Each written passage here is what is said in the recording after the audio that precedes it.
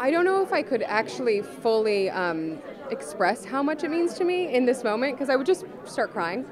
Um, I, I think the men and women serving our country are so brave and so wonderful. I am. I'm getting emotional.